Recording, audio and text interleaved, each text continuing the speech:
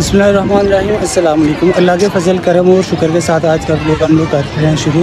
जी आज मैं पहुँचा हूँ पी एफ़ म्यूज़ियम कराची में। यहाँ पे आ, शाम का मौसम है शाम का टाइम है और अभी मौसम बहुत ही खूबसूरत है यहाँ पे। आप देख सकते हैं जी माशाल्लाह आज काफ़ी दिन शदीद सर गर्मी पड़ी है यहाँ पे और आज थोड़ा सा मौसम जो है वो कुछ इलाकों में बारिश भी हुई है और मौसम जो है वो बेहतर भी हुआ। और पी आर म्यूज़ियम में आप देख सकते हैं कि लोग फैमिलीज़ के साथ जो है वो इंजॉय करने आए हुए हैं यहाँ पे।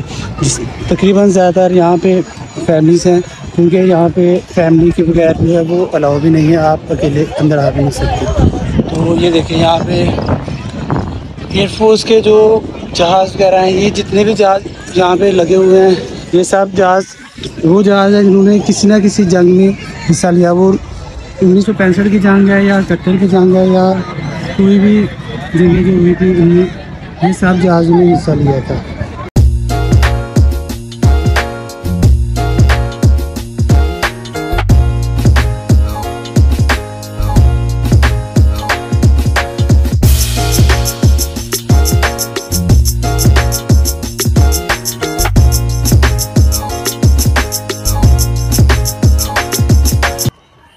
यहाँ पे आप मेरे पीछे देख सकते हैं के जो रडार वगैरह हैं जो मिसाइल वगैरह हैं, वो पड़े हुए हैं, आगे उनके जहाज़ वगैरह हैं और बहुत ज़्यादा सेंसिटिव जहाज़ है वो यहाँ पे पड़े हुए हैं। ये इनकी जंग की एंबुलेंस।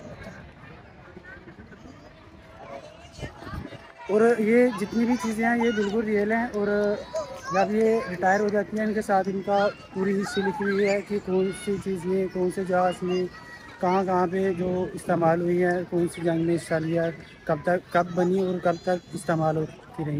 वो सारा डाटा उनका वहाँ पे लिखा हुआ ये हमारी मुनी भी हमारे साथ आई हुई है। हिशफा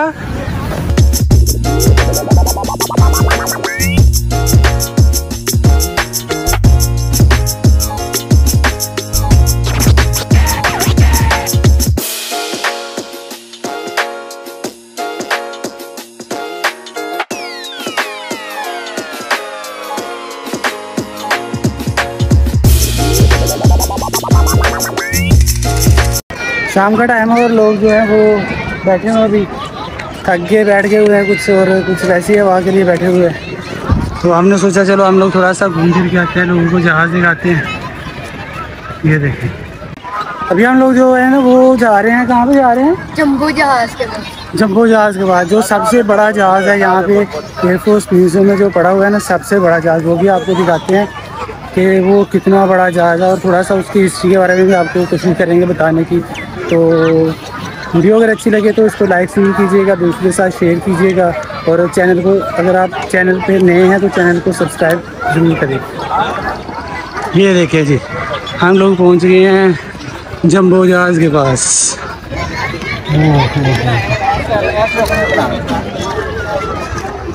ये जहाज़ जो है ना, ये ब्रिगेड अटलांटिक है।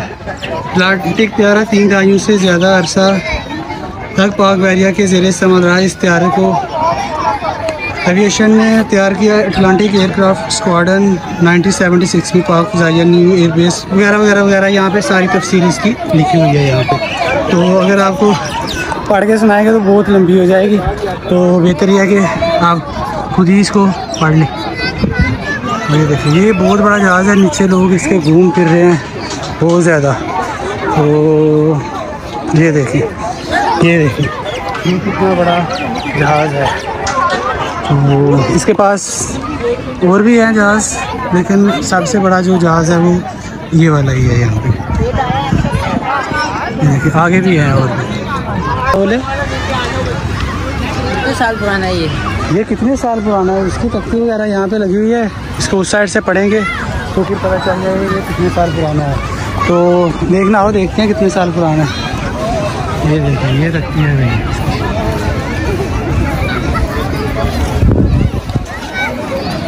ये 14 नवंबर 1944 में बना था।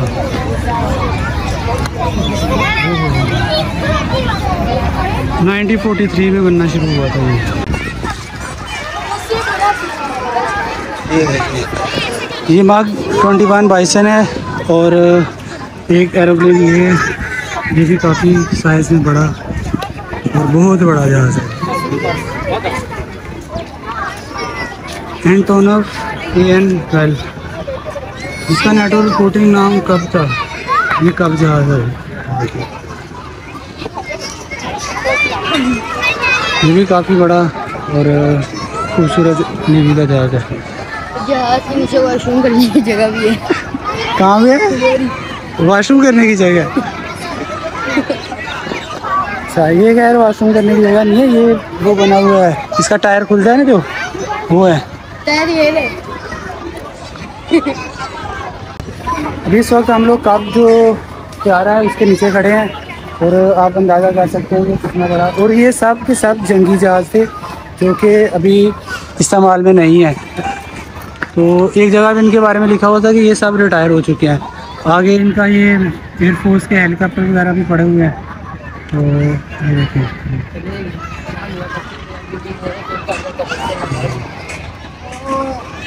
हमने पता लगा लिया कि ये अभी इस्तेमाल क्यों नहीं हो रहे? क्यों नहीं इस्तेमाल हो रहे है? क्योंकि उधर कबूतरों ने घर बना लिए अच्छा इसके अंदर अभी कबूतरों ने घर बनाया हुआ है ये देखें। अगर नज़र आ जाए तो। चलो भाई पाकिस्तान का माल किसी ना किसी चीज़ के काम तो आ रहा है ना। ज़ाया तो नहीं जा रहा।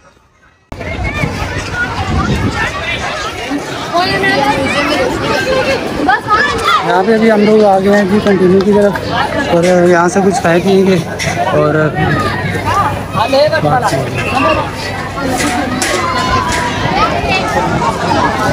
जब आप कहाँ भी जाएँगे ना, आपको पाकिस्तानी को जो है वो अलग ही पहचान होगी ये कोई टिप तो नहीं बनता ना कि आप जहाज़ के ऊपर चढ़ के वहाँ जहाज़ के ऊपर जाना तो वहीं ऊपर जाएँ, वहाँ पे जहाज़ है। आपने भी जहाज़ के ऊपर जाना। जाना जहाज़ दिल बहुत कर रहे हैं। अच्छा चला जा फिर। अभी जा नहीं रोक लेता अभी हम लोग ने जहाज़ वगैरह जो थे वो तकरीबन ज़्यादा देख लिए हैं। तो अभी हम लोग जाएँगे झूले वगैरह लेने के लिए। तो झूलों की तरफ़ चलते हैं। झूले भी हैं यहाँ पे बहुत मज़े मज़े के झूले हैं बच्चों के और बड़ों के। यहाँ पे इतने जहाज़ है इतने जहाज़ हैं ना। एक जहाज़ ये है एक ये है। तो वो दो जहाज़ तो फिर साथ चल रहे हैं। तो बाकी ये पड़े हुए जो जहाज़ है ना, ये सारा दिन बंदा घूमता रहे, इतना बड़ा म्यूज़ियम पार्क बना हुआ है ना कि ये जहाज़ ख़त्म नहीं होने वाला। पानी में लगाया हुआ है नीचे पानी है। अभी हम लोग पहुँच गए हैं झूलों की तरफ़, और यहाँ पे बहुत ज़्यादा रश है लोगों का। तो हम भी कोशिश करेंगे अपनी थोड़ी सी जगह बनाने की झूलों के अंदर। बटर एक एक राइड लेने के लिए इतनी इतनी लंबी लाइनें लगी हुई हैं कि हद से ज़्यादा। यहाँ पे भी काफ़ी ज़्यादा लाइनें। नंबर आ गया आ गया आने वाले नंबर। चलो भैया हमारे बच्चे पहले आगे खड़े हो गए, हमारा नंबर आ गया। पीछे से आएँगे और यहाँ से गर्मी लग रही थी तो सबसे पहले तो गन्ने का रस हुआ वो पिएँगे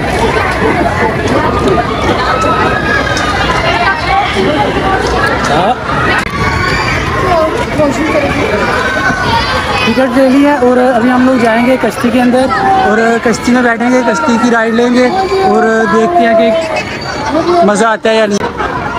कश्ती की राइड लेने के लिए तो बहुत लंबी लाइन लगी हुई है।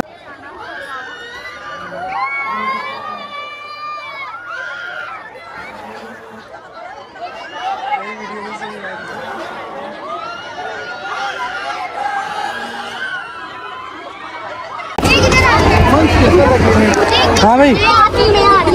ये बिस्मिल्लाहिर्रहमानिर्रहीम। या अल्लाह खैर बैठ हैं कश्ती में। तो जैसे जैसे देखते हैं क्या होता है। किसकी चिक्के ज़्यादा निकलती तुम्हारी ही है सामने वाली पार्टी की हम लोग अभी इस टाइम पे पी एम म्यूज़ियम के सबसे टॉप पर बैठे हुए हैं। तो सब पीछे से सारा व्यू नज़र आ रहा है है है। तो करे। झूला हमारा झूला। टोपी उतार लूँगा। गंजे की टोपी होगी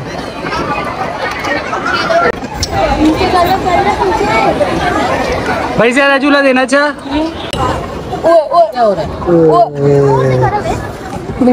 सीट बेल्ट जो है वो हमारे टाइट हो गए हैं। तो बिस्मिल्लाहिर्रहमानिर्रहीम या रहमान या रहीम या अल्लाह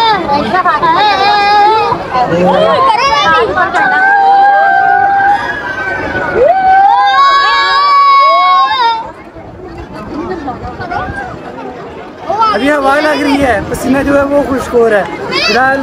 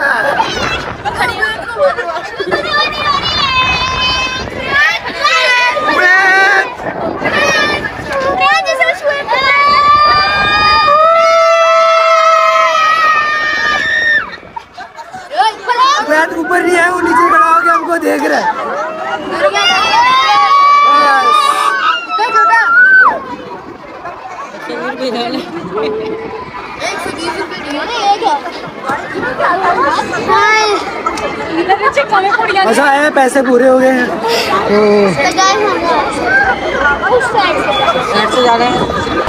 कैसा रहा फिर झूला? मज़ा आया नहीं आया?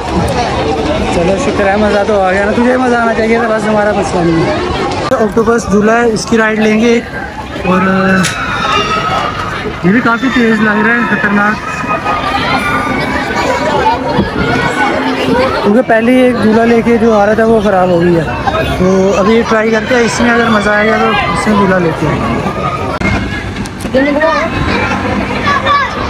ऑक्टोपस में बैठ गए हम लोग तो अभी इसकी सवारी पूरी नहीं हो रही, सवारियाँ पूरी होएँगी तो फिर ड्राइवर जो है वो गाड़ी निकालेगा यहाँ से।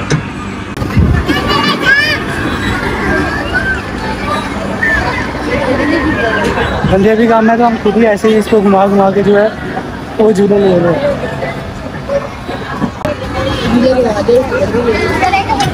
टिकट ले गया अभी चालू कर दे यार। बहुत गर्मी है। हमारी राइड जो है वो शुरू हो चुकी है। टोपी उतार ली है। तो टोपी उतार ली है गंदे भाई ने। हैं?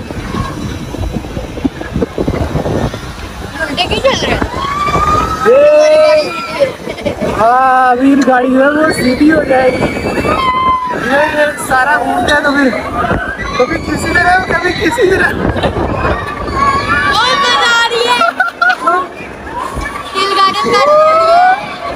दिल गार्डन गार्डन हो रही है।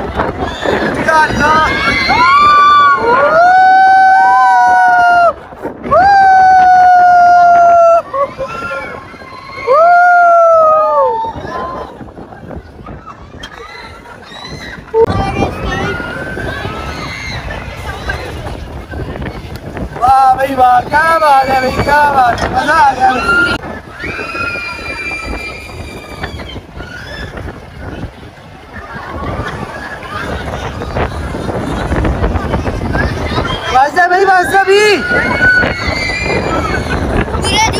एक सौ बीस रुपए दिए 120 पूरे करने हैं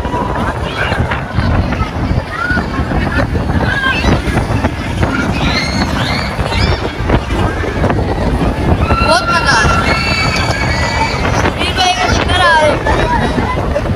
चक्कर आ गया चक्कर। बस।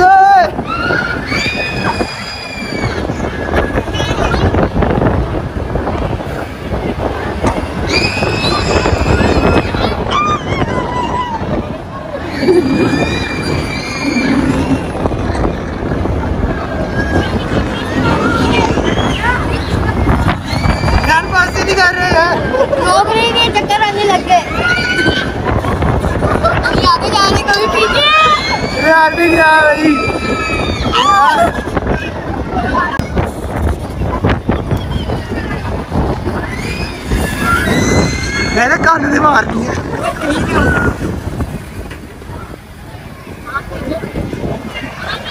चलो भाई राइड खत्म हो गया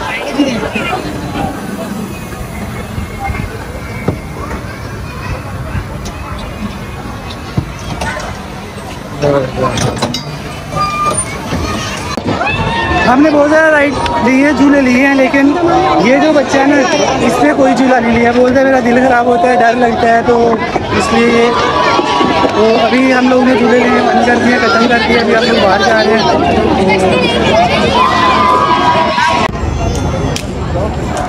सात बजे हम लोग यहाँ पे आए थे और नौ बजे हैं तो काफ़ी इंजॉय किया है झूले लिए हैं खाना वगैरह खाया, और घूमे फिरे हैं काफ़ी चीज़ें इंजॉय की हैं। अच्छा रहा है आज का दिन। तो अभी भी लोग जो हैं वो बहुत ज़्यादा यहाँ पे हैं।